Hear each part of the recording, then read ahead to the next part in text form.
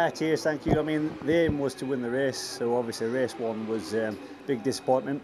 We made a number of changes to the Ninja for, for race two, and the bike felt okay, better than race one. And then with every red flag, we uh, had a few little tweaks. So, what can I say? I've got a you know fabulous bunch of guys working for me.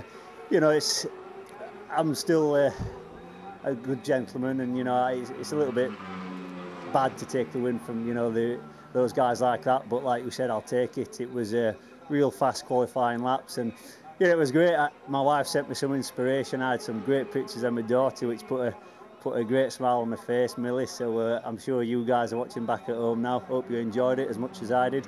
So yeah, got a few days to, to really enjoy myself here in California now. Some big event for Kawasaki coming up, and I can't wait to go to the summer break. You know, really get my hand and wrist sorted. That's been a bit of a pain to be honest. So uh, great way to go to the summer.